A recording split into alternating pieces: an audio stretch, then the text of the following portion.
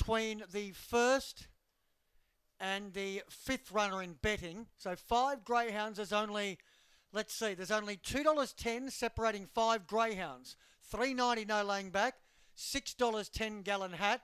And there are three runners in the middle of all that. So five runners with two dollars separating. That's how open it is. Madre's at eleven dollars.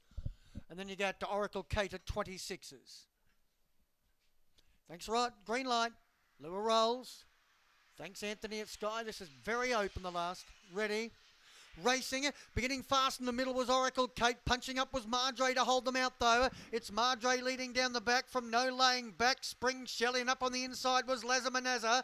Then we had after that was 10 gallon hat All Par Mama. And towards the tail end of the field was Oracle Kate. Down the side of the track it's Madre a mile in front. Leads by four to Lazamanaza giving chase. Then we had after that was no laying back. It's little Madre in front. Madre all the way from Lazamanaza. Third Spring Shelley. Force of Fado between no laying back and all par mama, maybe in that order. Then 10 gallon hat, and last of all was Oracle Kate, and the time was 25 and 80.